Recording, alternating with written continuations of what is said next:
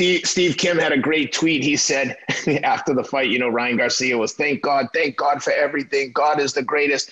He said he should have been as thankful to the matchmakers at uh, Golden Boy for the fight.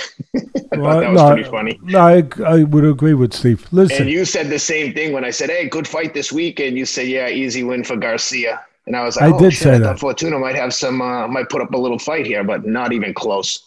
No, easy fighting as uh, to grab a corner phrase from the great Floyd Mayweather. Easy work, easy yeah, work. Sure. You know, easy money, easy work. But um, look, first I'll, I'll segue back, but I'll piggyback off of you mentioning Tank Davis said he's yelling for Tank Davis at 140 pounds. Big difference. Yeah. Uh, if, if nothing else, Garcia, I'm not saying he ain't brave or come on, let's not in, get into kitty land. But what I'm saying is that he knows he has an edge on him at 140, and I'll tell you why. He's got a bigger skeleton, and he's yeah. only 23 years old. He's still filling out, and it shows. Tank's young too, yeah. but he don't have that skeleton to fill out the way that Garcia does and he's filling out. He might wind up at the end of his career at 147. I don't know, but he's he's big, and he was much bigger than Fortuna. You can see it. Much. much. I, would like, like to know what he weighed when he got in the ring. Yeah, I'd like to know what he and what Fortuna weighed really individually when they got in the ring. It would be interesting. But eh, he, with that skeleton, able to fill in at 23 years of age.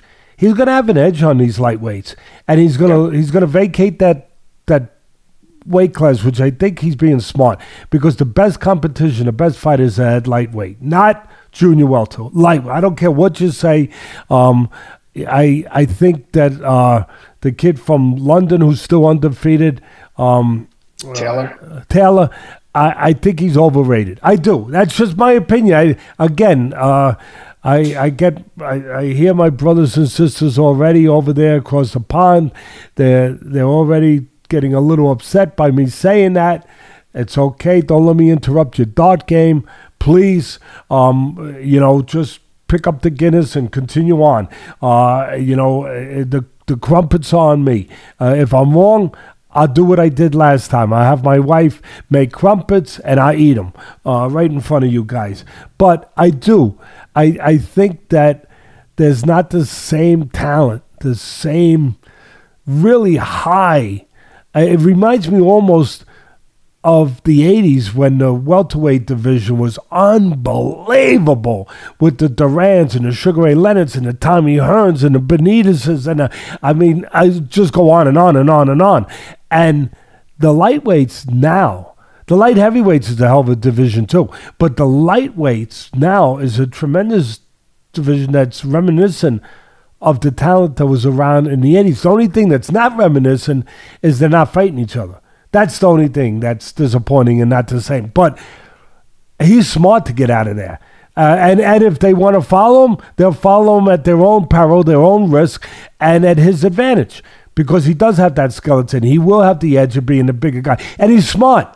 And De La Hoya and them are smart. And I'll tell you another thing. Don't expect to see any of these fights that we would chomp at the bit to see, no matter what he says, right now, because De La Hoya already lost Canelo.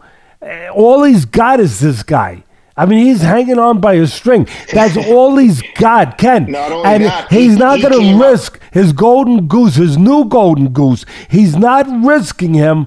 He's going to make money fighting guys that are mirages. Guys like Fortuna. Honest. Look, you don't like the truth don't watch this show. You, he's going to fight guys, and they're out there that have good records. Uh, Canelo did it. He did it with the Plants, and he did it with the B.J. Um, Saunders, Saunders, And, and the guys from Europe, all those guys. And I'm not knocking those guys. They're okay, but they weren't what they were purported to be, what they were built up to be. Uh, uh, they built up a a mirage with their record and and made you think, oh yeah, we're gonna get a real fight.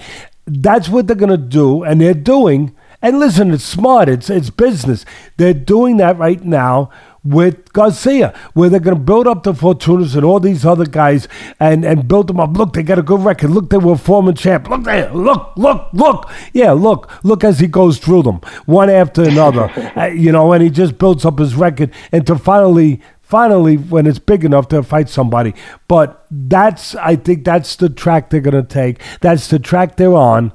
And um, as far as the fight, um, did you want to say something before I break down the fight? Because I Yeah, I know there was said- some. I, I wanted to say that Oscar has already showed his hand. He said when Canelo um, lost to Bivol, and credit to Canelo for taking a very tough fight where he Yes, was like a yes. 50-50 fight. Uh, Oscar I think you out and I think you're underrated, people. I got to tell you, I really do. Going in, Yeah. he he doesn't anymore. But yes, give him credit.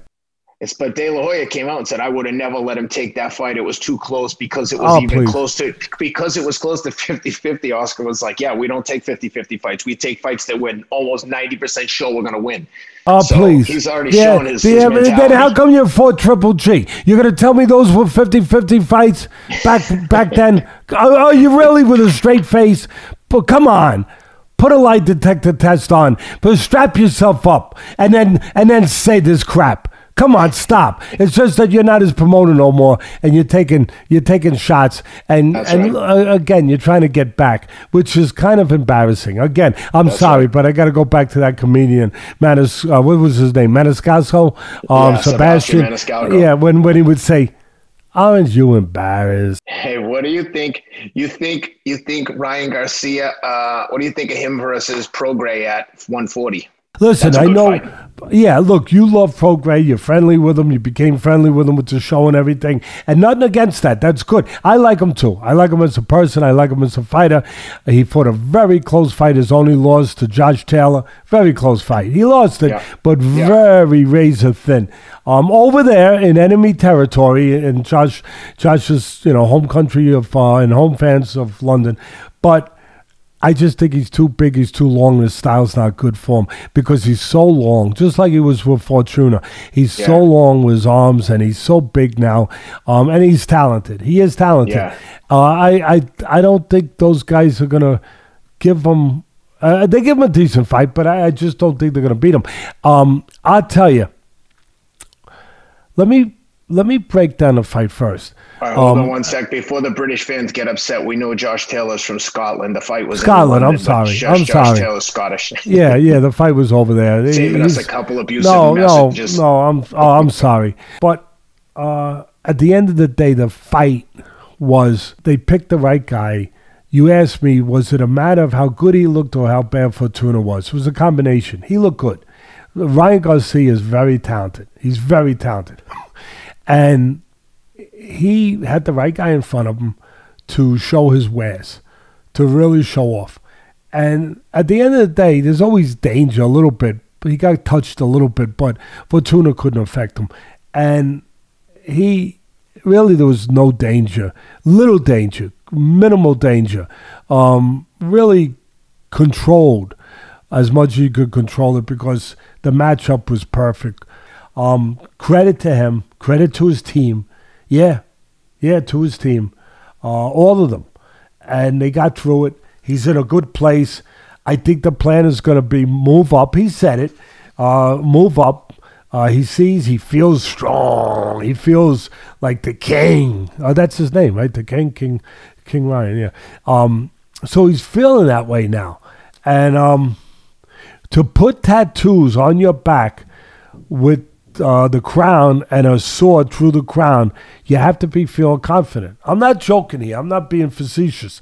I'm being serious. To do that, you have to be Yep. confident. He That's put those point. ta- he didn't put them on before, but he's feeling it now. He's feeling it now, and he put those confident uh, boosters, uh, those those proofs for me, proofs of his confidence and his growth. He put those tattoos on his back because he does feel it now. He does feel he's there, and um, good luck to him. Good luck to him, and he's got a great fan base.